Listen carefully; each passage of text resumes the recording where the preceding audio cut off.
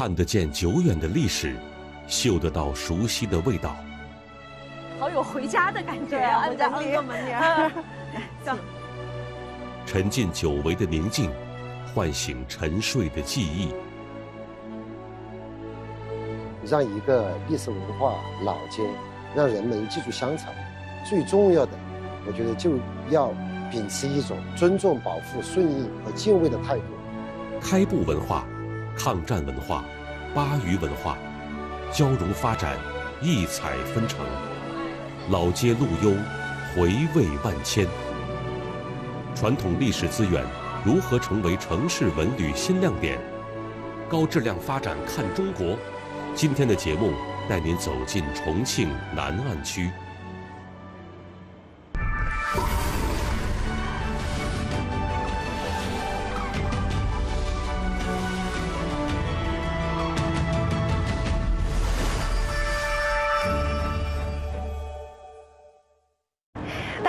这里是重庆市南岸区的龙门号老街，保护城市文脉，留住记忆乡愁，让文物古建筑活起来，让老街重新焕发出青春。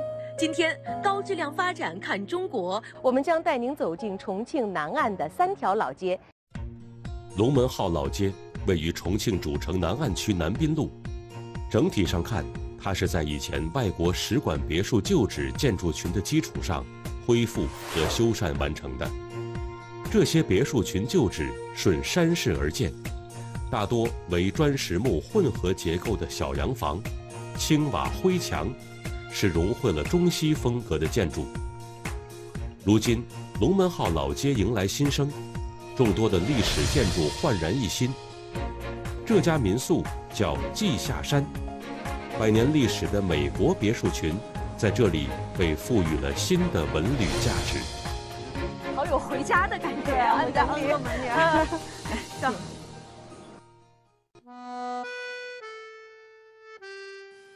民宿的装修看上去颇有些年代感，这让人不由穿越百年，进入到一个世纪前的那个特殊的历史时空。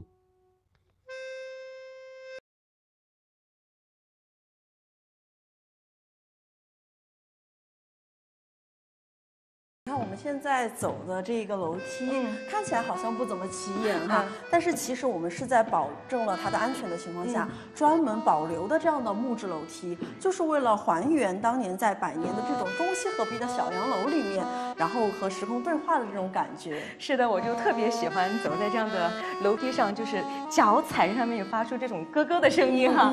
而且我还在想，这一路来，嗯，如果我入住这样的房间，我就会思考当时住在这里的。主人他都在这个房间干过什么呢？也许在看自己喜欢的书，也许在写情书，说不定在我们的阳台上拿着一杯咖啡。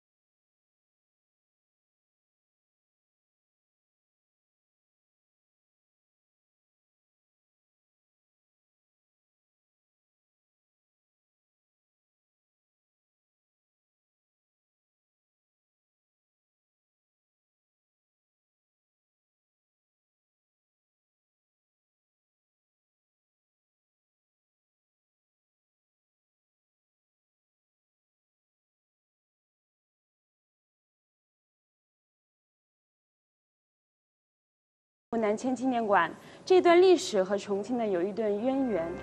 上世纪三十年代，为保护故宫文物的安全，不少文物经汉口秘密运入重庆。位于南滨路的安达森洋行，即成为故宫国宝的秘藏之地。故宫文物南迁呢，是抗战时期故宫文物的一次保护行动哈。那为什么会选择咱们南岸现在所在的这个地方呢？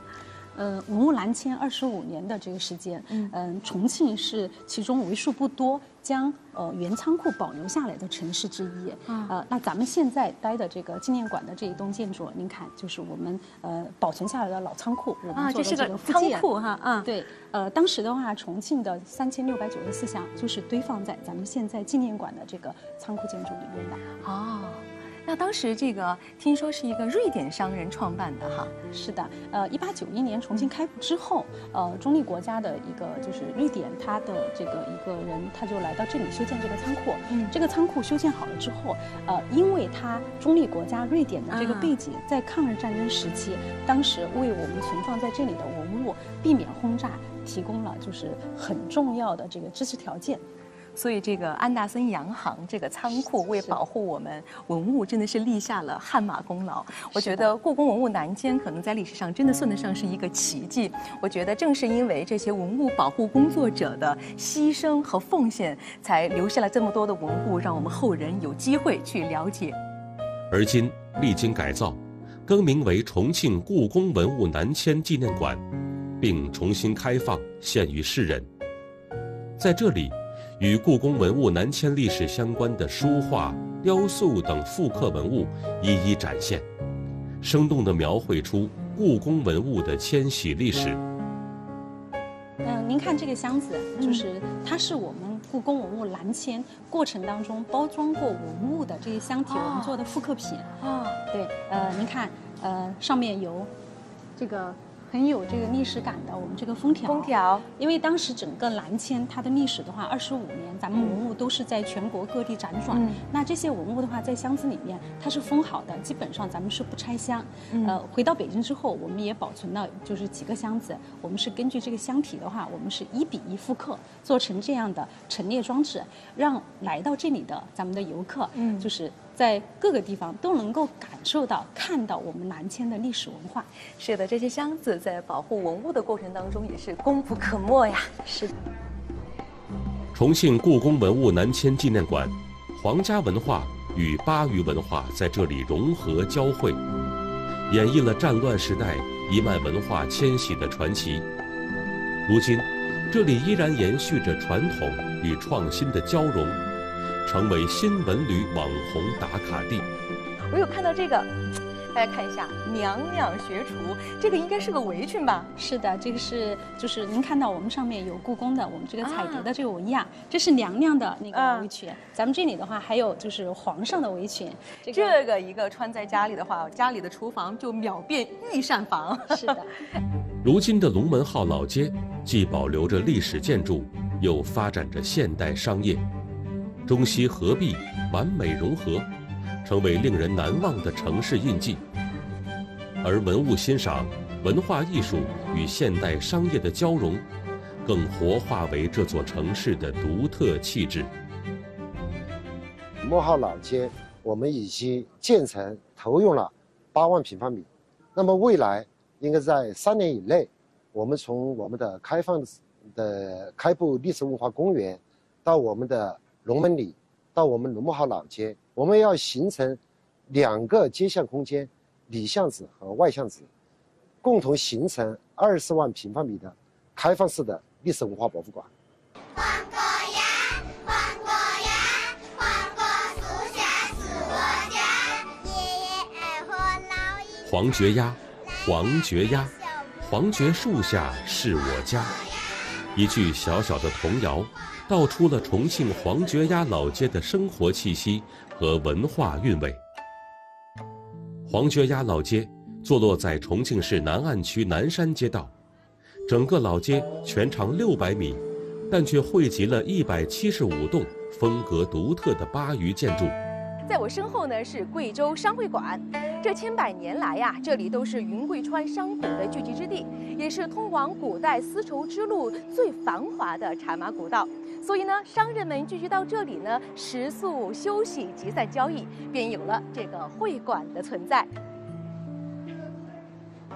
贵州商会馆里最具特色的还是这一盆盆摆放在不同角落的南山盆景，它们千姿百态，外形各异，静静地讲述着自己的前世今生。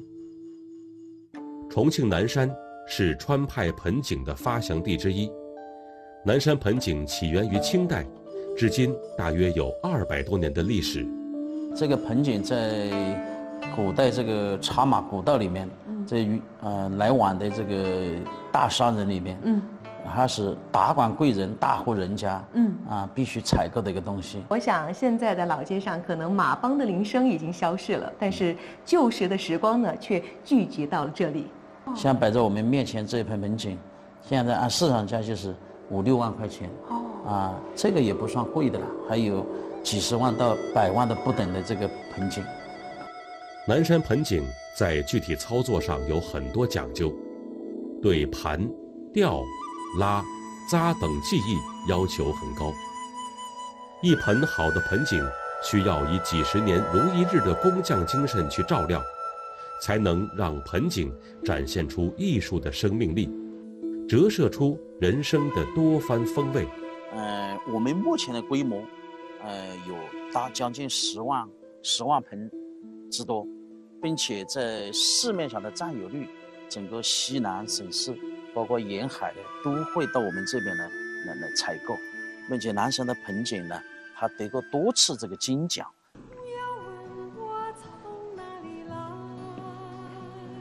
黄绝鸭。存着很多人的童年记忆，最著名的莫过于作家三毛了。作为一名女作家，短暂而流浪的一生充满着传奇色彩，而她的故居就藏在南山黄绝崖的一条小巷里。在这里，三毛度过了自己无忧无虑的童年。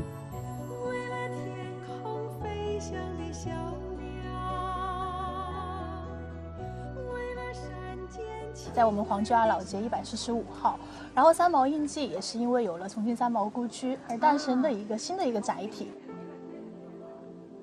哇，大家看我们这现在哈，这个面前有一个非常暖和的一个围炉哈，看到这个围炉我就知道，呃呃，网上有段子说给重庆人一口锅可以涮下全世界，但是现在可能我们会说给重庆人一个炉子，它可以烤下全世界，万物皆可烤。对，这些东西太多了，都有些什么样的？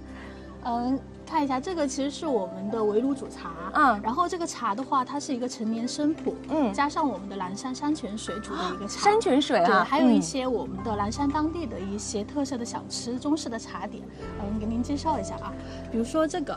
哎，这是我们的那个蓝山上，蓝山上的山民他自己手做的一个糍粑，叫手冲糍粑。然后这个烤了以后呢，它就会变得很软。然后烤完了以后，我们沾上这个黄豆面加白糖，黄豆面加白糖，哇，这个是我的我的最爱，这个很好吃。等一下烤熟了我们可以吃。好的好的。还有这个红薯，它是我们蓝山上面的一个集市，我们每天新鲜采购的一个红皮小蜜薯。嗯。它烤了以后，它会出这个蜜，然后等一下吃的话也会特别的香甜。我相当于这个烤的东西都是咱们南山上自己的特产，对对，可以打个引号啊，土货，南山当地的一个土货。相当于这个炉子、这一壶茶都是我们南山味道哈。对。那我就想问问您，咱们现在这样的一个非常豪华的南山土土 套餐啊，它的价格是多少呢？啊，我们这个围炉煮茶的套餐的话，它是一个双人餐，就像我们两个人，嗯，一个炉子加一罐茶，还有一些我们的茶点，对茶点，一共是一百二十八。那咱们一个月的销售额怎么样呢？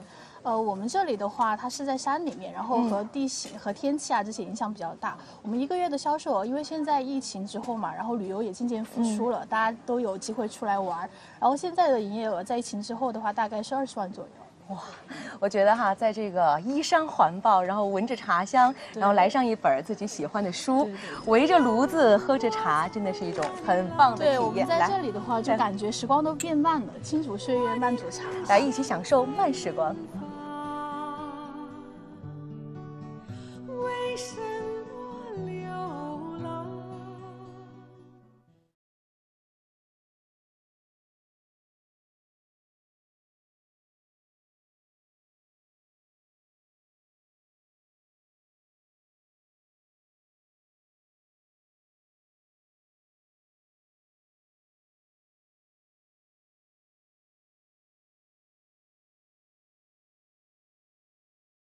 担子石老街曾是西南地区著名的水路渡口，历史上百谷交汇，万商云集，有着“重庆外滩”的美誉。今天，这条老街依托当地文化遗产，尝试走出一条多元化商业振兴的道路，于是就有了全球名气最大的蜡像馆在此落地。看我，看镜头，一二三。杜莎夫人蜡像馆凭借精湛的人物蜡像制作工艺，还原了世界范围内各个时期政治、娱乐、体育、时尚等领域知名人物的形貌，让人们不仅可以感受历史，还可以领略当代明星的风采。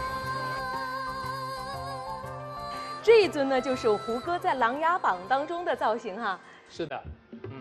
这个胡歌除了我们能看到他完全深度还原了《琅琊榜》造型以外，最大的一个亮点的话，那就是他身上所穿的这个道具服，是在《琅琊榜》拍摄完成以后，胡歌这边送给重庆杜莎夫人蜡像馆的。哦，相当于这身戏服是胡歌在拍摄当中穿过的。对的，对的，对的。哇，这是第一次接触一下胡歌的戏服，要手就是忍不住要摸一下哈。嘿哇，全中哈！你们知道谁在看我打篮球吗？姚明啊！我知道姚明很高，但是以往见他都是在电视里，没有这这么直观的比较。我今天到了这个一比一的蜡像馆，这样一对比，我才发现我只在巨人的腰上。